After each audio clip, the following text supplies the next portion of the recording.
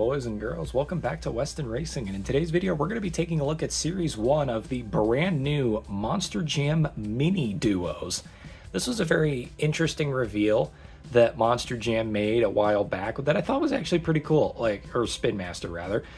I thought it was pretty cool. They revealed that they were going to do four Monster Jam trucks, 164 scale, and they were going to come with a bonus mini monster truck that was the same truck. Um, the only difference is, is that these ones, as you can see, the Mini does not match the monster truck it comes with whatsoever. However, I still think it's pretty cool that they did this, and I'm honestly excited to see what Series 2 looks like when that comes out. Because as of right now, this is the only series of these. And this is probably my most up-to-date Spin Master video I have ever made. Like, as it goes to like relevance of a case of trucks that I'm reviewing, this is probably the closest I've ever been to actually being up to date with a monster truck video. So this is really exciting here. These are, like I said, these are fairly new. Like these just came out a while ago. I literally got these, uh, I think like three weeks ago when my Walmart started stocking for Easter, these were in a dump bin and I managed to pick them up, which was really exciting because I didn't think they'd be out that early, but here we are. Anyway, let's see here. I wanted to do a new thing where I want to start trying to shoot for a target time on a video so I can get better about, you know, making my videos shorter. So I think for this video, I'm going to shoot for, let's go 20 minutes. We'll go for a 20 minute video here today. So without further ado, let's get started. I do have something I want to talk about though as we're looking at or opening the first truck though, so we'll get to that.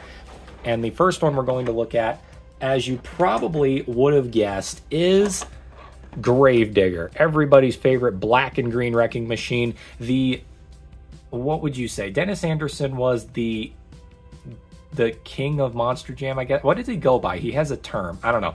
Anyway, this is the first set we're going to look at here. We're going to look at the mini first, kind of like the car duos packs. We'll look at the non 164 scale monster truck item first, and then we'll look at the monster truck itself, which would be pretty cool technically these are both monster trucks which is pretty neat. But uh, i guess it could be argued that in a way it's like we're getting uh, a monster truck and a mini counterpart. Like if you know what a mini monster truck looks like what do they call those? What there's a term for those those monster trucks that are like really really small. I forget what they call them though. There's an entire sports league for them anyway enough talk. Let's get into this. Now the thing that I actually want to talk about, I don't know how to open these because this is my first one. We're going to open from the top, I think. Uh, the thing that I wanted to talk about with you guys is just recently we got some, we're getting some pretty cool, getting towards the world finals, right? We're getting some pretty cool stuff revealed to us. Like, for example, we got the track design revealed, which, you know, it's it's an interesting track design, I will say that. Uh, it looks like a dirt bike track. It's really, really weird. Also, for those of you who don't know, this year's World Finals will be taking place in Inglewood, California. I could not think of a worse location to hold a World Championship Monster Truck event, but that's just me. So, that's an interesting insert. Um, that's my opinions on that. I really think Inglewood, California is a horrible place to hold the World Championship. SoFi Stadium is tiny. It is going to be so hard for those trucks to maneuver around in that stadium, but it'll be it'll be interesting. That's all I'm going to say. The thing that I really want to talk about, though, is that they revealed the stunt for the World Finals. And it is actually going to be really cool. The stunt itself, what's going to be done, has not been revealed. However, they revealed the truck that's doing the stunt. And ladies and gentlemen, I don't have the truck on me. If I did, I'd show it off. But the ever famous, created in 2019, Spin Master Monster Jam custom monster truck the four ton unicorn Sparkle Smash is going to become a real truck. And they showed it off in this trailer for the stunt. I am so excited, it's not even funny. I cannot wait. Here's the Gravedigger card insert. Here is the mini Gravedigger. So let's start it off, shall we? Oh my god, it's been so long since I've revealed or reviewed a mini. I need to, I got three mini series that I need to unbox and review. We'll get to it eventually. But anyway, so we've got a black body, a gray chassis, that is cold, a gray, almost like a silver chassis setup with green tires. Pretty cool. On the side panel, you got Gravedigger USHRA logo, the Ghost Mountain with the haunted house, all the detail. It's Gravedigger. We all know what Gravedigger looks like. On this side, it's the exact same thing, but mirrored. On the front, we don't have headlights or anything, but on the hood, we've got the flame wrapping and we've got the uh, stripe there on the hood. Really cool. And then on the top, we got Gravedigger, Bad to the Bone written right there with the Grim skull and the flames, nothing on the back. And uh, yeah, there you go. That is the Gravedigger Mini. I love the I gotta say, I think Monster Jam minis, like, don't get me wrong, the Hot Wheels minis were, you know, cool, but they weren't that great because they didn't look that good. The chassis were massive compared to the bodies. It just didn't work. I think Spin Masters mini series is awesome. I absolutely love the minis, and they are just so cute. But speaking of mini, let's go to the opposite of that and take a look at the 164 scale Gravedigger that actually comes with it. Now, as you'll notice, what they tried to do, well, not very well, they didn't really succeed with it, but what you'll notice is that some of the trucks, the minis and the monster truck themselves, they tried to make them look like copies, but they didn't really succeed. So, for example, on this one, we got a black body. As you can see, they did the silver roll cage, but we got a black chassis, black tires, and green rims. The if they, I really wish what they would have done is they would have made the minis match the truck themselves. But I get that that can be hard to do, and I understand. But here we go. Looking at the side panel, we got Gravedigger with the Ghost Mountain, as we've all seen. Pretty much all the same detail as the Mini, just, you know, a lot bigger and blown up so you can see it better, which is pretty cool. The graphics look a little fuzzy and pale on this Gravedigger. I don't know if that's just me or if you guys are seeing that too, but the, the graphics look very pale and fuzzy. I don't know what that's all about. On the front, you've got the green uh, front end with the red headlights that we all know and love. Up on the hood, you got the black flames around the headlights themselves, green flames going up through all the crevices with the gray stripe right there. On the roof, we have the famous Gravedigger roof with Grim, Bad to the Bone, Gravedigger, and the flames right there. Looks really, really good. I love that roof wrap.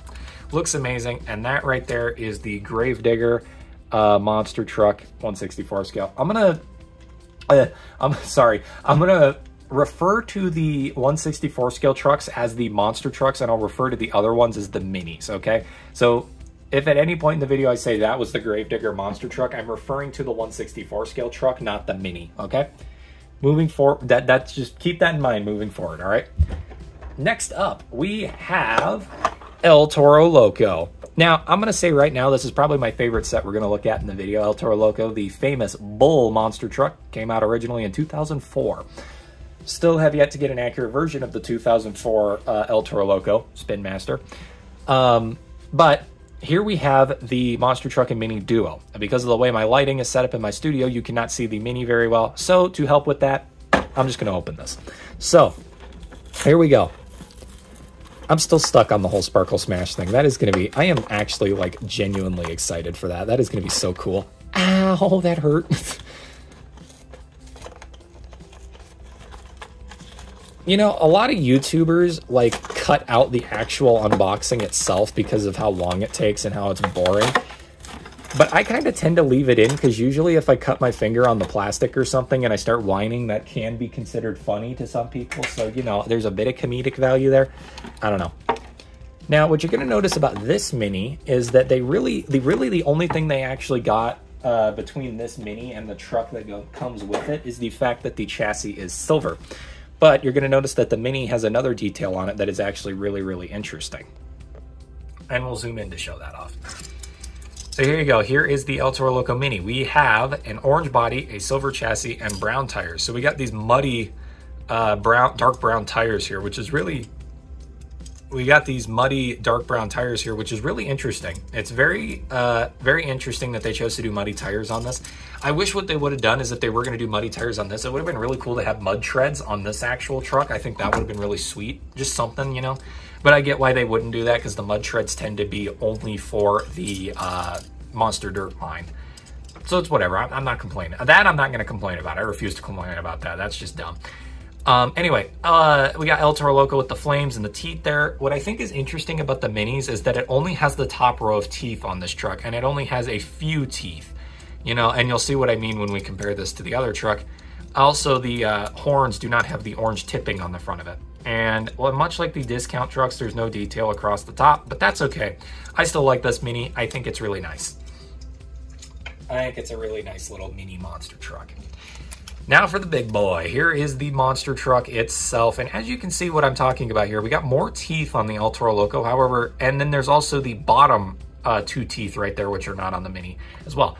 I thought I'd point that out just because why not? You know, it's a, it's a little, little something. We got an orange body, a silver roll cage, white chassis, yellow chassis, pardon me, black tires with yellow rims. Look at that. Pretty cool stuff there. Monster Jam logo, flames, El Toro logo. Pretty sweet there. Oh, let's fix that. There we go. And look at that detail there. That is nice. I like the way that that looks. Very cool. On the front of the truck, we've got the chin hair. I don't know what what that banter was about right there. You know, I've seen thousands of El Toro Locos at this point. I don't know why I said any of that, but you know, whatever.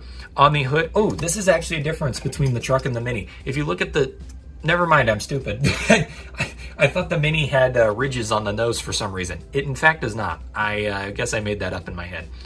We've got the nose ring here, the nostrils, and the flames coming out. Looks really cool. You got the orange tipped horns, as I pointed out earlier. Nothing on the uh, negative space bar there, I guess is what you would call that. I don't know why. Uh, the tail lights are weirdly brown in color, which I think is kind of strange. And then you got the flames on the tailgate, El Toro logo, monsterjam.com written right there. And uh, yeah, there you go. That is the El Toro Loco right there. Pretty cool. Alrighty, let's get through the next set. We got two more sets to go. And uh, you've seen one of these two sets, but the other one you haven't yet. And ironically, that's going to be the next one. So this one's kind of a big surprise if you didn't pay too close attention to the thumbnail, you don't know anything about these trucks, and you haven't looked in the description. This next truck is going to be a complete and total surprise to you. It is Megalodon. Now, as I always say with Megalodon, I always I feel like this truck is a bit deceiving because they call it Megalodon, and I get why it's supposed to be a giant shark, but Megalodon has always seemed more like a great white shark to me. I don't know. I've never really thought Megalodon looked like a Megalodon, but that's just me. And I think it's the shape of the body. I feel like Megalodons would look a lot scarier. I don't know. I don't know. And I get, you know, it's it's Monster Jam is a kid's sport anymore, but well, would you look at that? I've never had that happen before. That was really convenient. To be fair, I've only opened two of these ever, so that's pretty cool. I kind of like the chassis color on that Megalodon. It looks, it's probably the same color as the body color. I like that. That is neat. All right, here is the nameplate for the Megalodon. We're get, we got six minutes left to do these two sets here so I can stay within my 20 minute video parameter that I set for myself. So let's, we're gonna speed run this. All right, here we have the Megalodon. We've got the, uh, we got the shark skin, like uh, grayish blue body. We've got this really interesting, almost like a navy purple chassis, and then we got the baby blue tires to look like water, which is pretty cool. You got the Megalodon logo there with the white belly. You can see the gills. You got the gums with the teeth and the eye. This side is exactly the same but mirrored. And yeah, that's pretty much the entirety of the Mini there. There's not a whole lot to see, just it's the different chassis colors and the different wheel colors that really make that one stand out. Now for its older cousin here, the Megalodon, there's, like I said, there's the chassis color is really neat on here. It looks like it's they were going for the same color as the body, and I think that is really cool that they did that. It might be the same color as the little plastic fin, actually. I don't know. Nah, it's slightly, mm, maybe, I don't know, I can't tell. Anyway, we've got the same color body as before, black roll cage, the uh, matching color chassis, black tires with dark or with light gray rims. I am having a stroke. I don't know what's going on here. The side panel has the Megalodon logo the Monster Jam logo. You got the white underbelly here with the teeth and the gums with the eye. Got the little plastic fin on the side. This side is exactly the same but mirrored. Going up across the top of the truck, you can see all of the different uh, paint detail, all the different like shading and whatnot across there. And that is pretty much the entirety of the Megalodon. It's a pretty basic truck, all things said about it. So there you go. All right. Here we go. Now on to the next set here. This is easily the most infuriating thing that I think Spin Master has ever done. Next up, we have Monster Mutt Dalmatian. Now, Monster Mutt Dalmatian, I could swear on. Spin Master absolutely hates this truck. They refuse to make a realistic version, a good realistic version of the modern Monster Mutt Dalmatian anymore. It's all just crappy, like all these like crappy roll cage and tire combinations. It's gross. It, I really wish they'd make a normal looking one. The ears, Monster Mutt Dalmatian is the only truck that doesn't have its ears down anymore. Like it is just, it's a mess. Now, here's the thing that upsets me about this set. Both the 164 scale truck and the Mini have been produced previously to this set.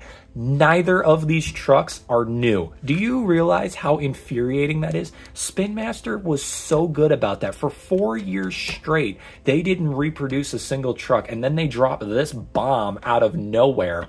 And it's like, really? You guys were doing so good. Now you've got two re releases in the same set. Like, that is wild.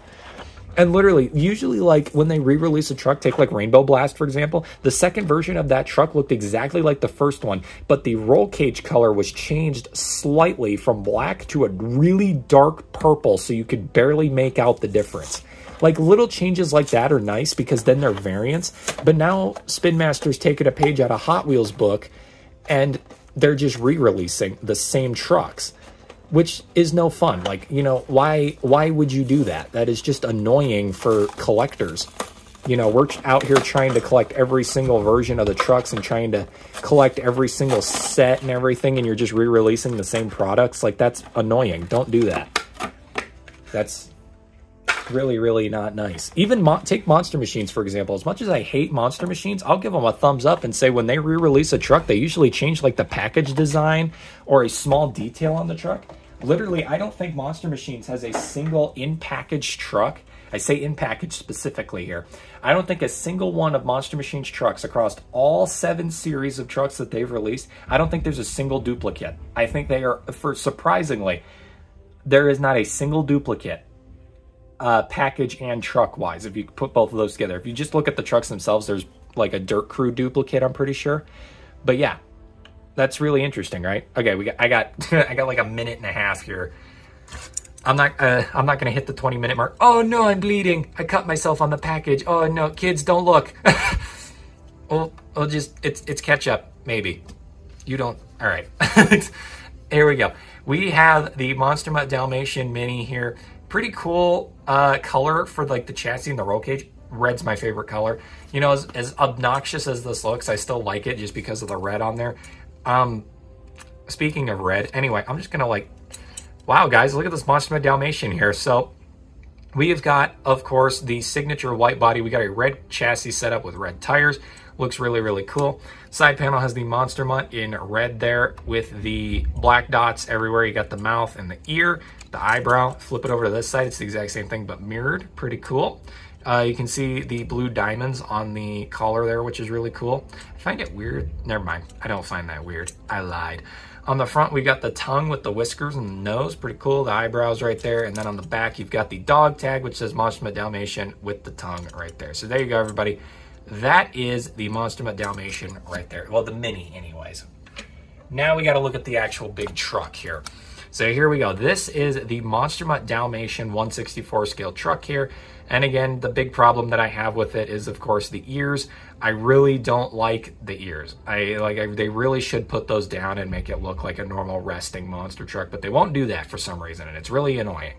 We've got a white body, white roll cage, uh, black chassis, black tires with red rims. Looks pretty cool. Side panel, I got the Monster Mutt there in red, Monster Jam logo, red collar with the blue diamonds. You got the teeth, the gums with the mouth, the fur detailing, which looks really cool. That was what the Mini was missing was the fur detailing. That's why it looks so weird to me. I was like, man, this looks strange. It's because it was missing the fur detailing. Got all the spots. On this side, it's the exact same thing, but mirrored. On the front, you got the tongue with the whiskers and the nose. Eyebrows there, pretty cool. And then you got the ears up top. And then on the back, you got Monster Mutt Dalmatian right there with the collar and then the tail. Pretty cool stuff right there. And that is the final monster truck for today's video. Let's uh, do the turntables and we'll close out the video.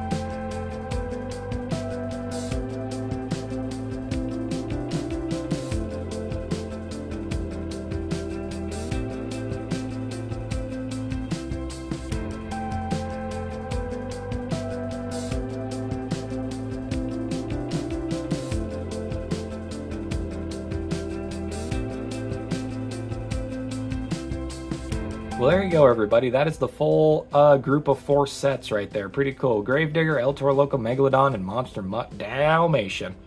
Pretty cool to, uh, like I said, I think this is a pretty cool series, and I have high hopes for what's to come in the future. You know, there's a lot of uh, there's a lot of minis that they could definitely adapt into the 164 line and do these duos with. I'm hoping for some independent stuff in the future. You know, and then, of course, you know, you got other Monster Jam trucks that we've gotten minis of, you know, Pirate's Curse, uh, Soldier Fortune, Soldier Fortune Black Ops, Max D. Max D's number one priority. Max D should 100% be in the next set. Um, and then there's some other ones that I think would be really cool, like Bulldozer. Bulldozer would be a really cool one for this to get the 164 scale truck and the mini. That would actually be really interesting. The Desert Force Soldier Fortune would actually be a really cool one for this. I, I don't know if they do it though. And then if they do something like the weird, obscure minis and then do matching 164 scale trucks, like uh, the Lavender Gravedigger, they did a Gravedigger, but instead of black, it was lavender colored as the base coat. I would actually love to get a 164 scale version of that truck. I think it'd be cool. Um, did they do Alien Invasion in mini form? I can't remember. Um, there's some other ones in there that I think would be pretty cool, like Chrome Chrome Dragonoid. That would be a cool one to get a 164 scale version of. Actually, Spin Master, chase piece idea for 2025. Chrome trucks. You know, and I'm not talking like the chrome gravedigger we got where it's like, you know, normal chrome. No, colored chrome trucks.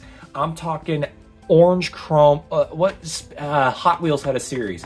It was the Chroma Frost series. It's that, but with actual chrome. I'm talking orange chrome El Toro Loco. Uh, black chrome gravedigger would be they, would obviously do a gravedigger but i hope they wouldn't do black chrome gravedigger. I think that would be boring. They should do uh, the green 30th anniversary gravedigger. That would be a good one to get. Uh, blue chrome megalodon. I don't know if white chrome is a thing. I'd love to see what white chrome looked like but a white chrome dalmatian would actually probably look pretty neat maybe. I don't like again i don't know if white chrome is an actual thing Normal Chrome Max D, I could let that one slide just because we, you know, we should have gotten that by now, but for some reason, once again, I think Spin Master really, really is underhanding Max D these last couple of years. I feel like Max D deserves way better treatment than what it's getting, but I don't know. Anyway, there's my pitch for you, Spin Master 2025 Chase Piece Series, colored chrome trucks. That would be awesome. But anyway, that's all I got for today's video. I hope you all enjoyed, and I'll see you all in the next diecast unboxing video. Thank you, and good night.